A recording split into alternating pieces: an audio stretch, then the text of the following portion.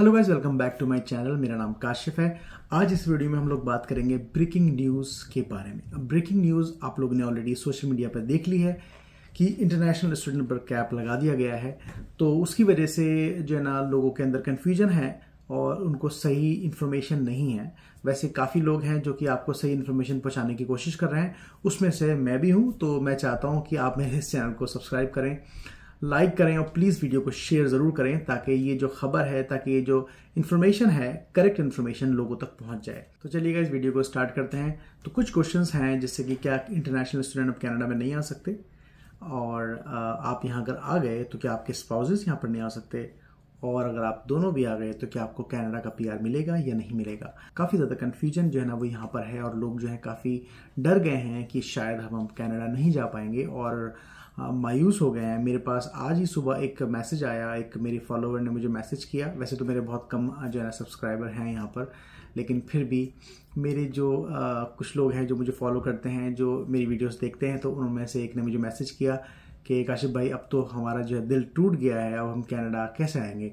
तो मैंने सोचा, मुझे ना बहुत हर्ट हुआ कि यार उस बंदे ने ऐसे बोला कि मेरा दिल टूट गया। तो मुझे ये लगा कि ऐसा कुछ हुआ भी नहीं है और इन लोगों ने मतलब इन्फॉर्मेशन को सही जो है ना पहुँचाया नहीं है या फिर लोगों ने सही समझा नहीं है। तो मैंने सोचा कि थोड़ा सा क्लैरिफाई कर देता हूँ ताकि आप लोग ये सारी जानकारी जो है ना वो सही से समझ पाए। तो अब इसमें क्वेश्चंस क्या क्या अराइज होते हैं? तो सबसे पहला क्वेश्चन यही है कि क्या इंटरनेशनल स्टूडेंट अब कनाडा आ सकते हैं कि नहीं आ सकते? देखो यार, ऐसा है इंटरनेशनल स्टूडेंट जो है ना कनाडा आ सकते हैं।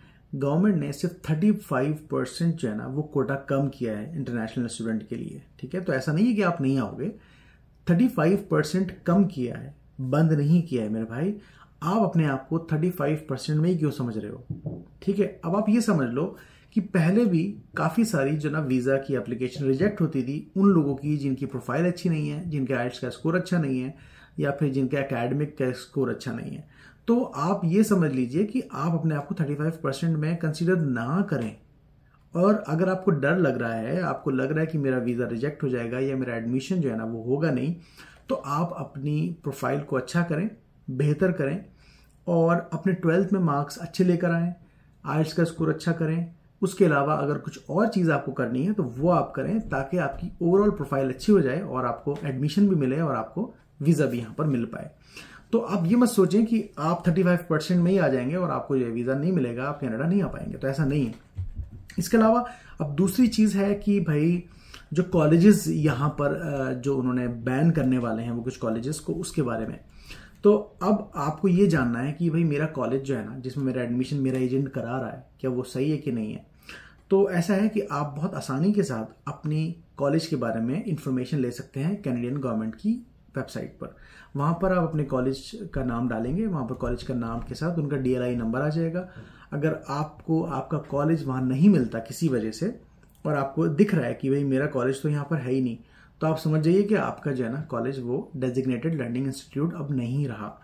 तो ये इन्फॉर्मेशन आपको उनकी वेबसाइट में मिल जाएगी। और अगर आपको फिर भी कुछ कन्फ्यूज़न है, क्योंकि कभी कभार ऐसा होता है कि हम कंफ्यूज हो जाते हैं, हम समझ नहीं पाते हैं कि ये क्या कहना चाहती है वेबसाइट तो अगर आप फिर भी कंफ्यूज हैं तो आप अपने कॉलेज को सीधा ईमेल करें, उनको बताएँ कि, सर, मैं ऐसे ऐसे यहाँ पर हूँ और मेरा एडमिशन यहाँ पर हुआ है।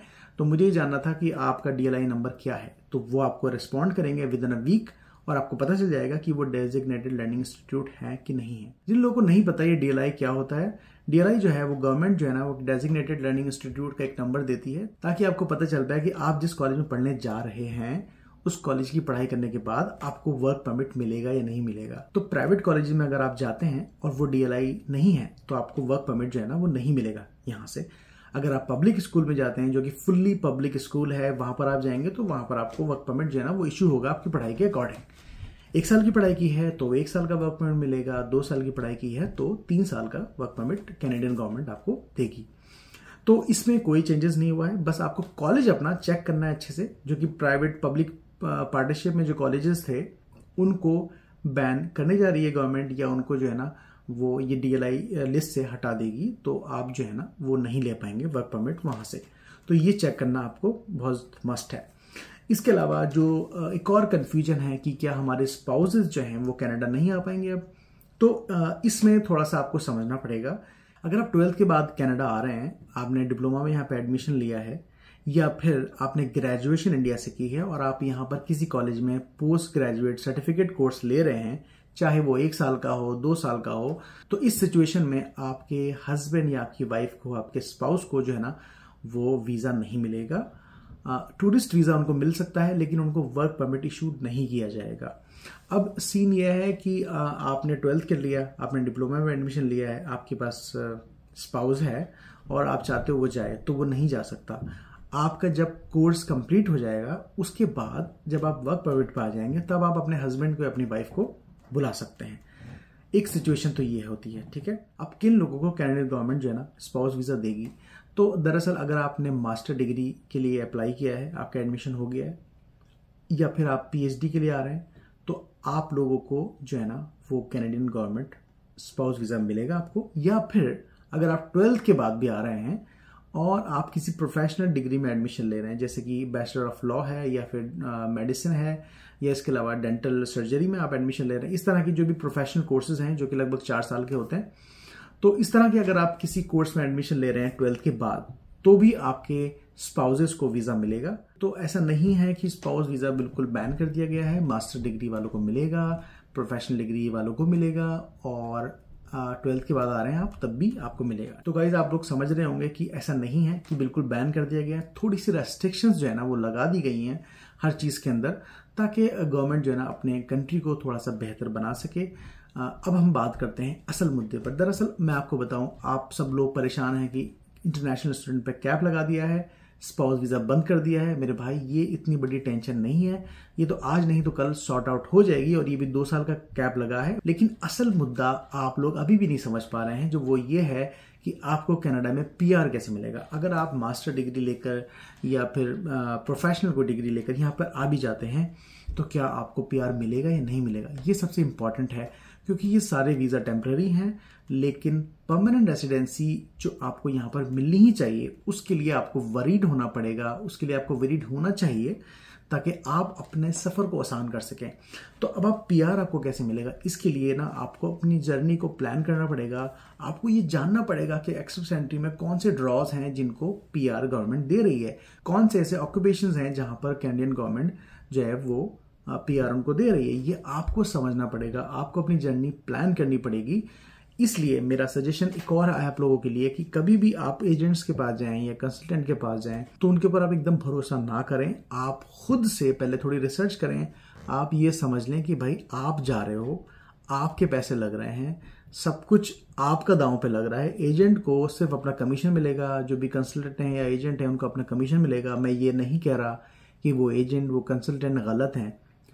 काफ़ी लोग गलत भी आपको मिलेंगे, जो कि आपको सिर्फ़ अपने कमीशन की वजह से आपको गलत कोर्स में एडमिशन दिला देंगे। आपको बोलेंगे कि भाई ठीक है, जो है ना, आप चले जाओगे, कोई बात नहीं, वहाँ जाके तो प्यार हो ही जाएगा। तो ऐसा नहीं है। यहाँ पर आने के बाद पीआर नहीं होता। पीआर होता है एक सिस्टम के तहत, उस सिस्टम को आपको समझना पड़ेगा। तो अगर आपको इस बारे में डिटेल में जानना है तो मेरी कुछ और वीडियोस भी यहाँ पर आपको मिल जाएँगी। आप उसको देखिए, समझिए और अपनी जर्नी को प्लान करिए। और इस चैनल पर ना मैं और भी चीज़ें इस तरह की लेकर आता रहता हूँ और भी लेकर आने वाला हूँ ताकि आप लोगों का जो सफ़र है वो आसान हो। तो गैस प्लीज़ अगर आपको इन्फॉर्मेशन थोड़ी भी समझ आई है, थोड़ी भी आपको जो है ना लगा कि मैंने आपको सही बात बताई है तो प्लीज़ इस वीडियो को लाइक कर दीजिए। चैनल को सब्सक्राइब कर दीजिए और प्लीज़ शेयर करिए, क्योंकि शेयर करने से दूसरों की हेल्प होगी और हेल्प करने से बेहतर कुछ नहीं। तो चलिए मिलते हैं नेक्स्ट वीडियो में किसी न किसी इन्फॉर्मेशन के साथ, तब तक के लिए बाय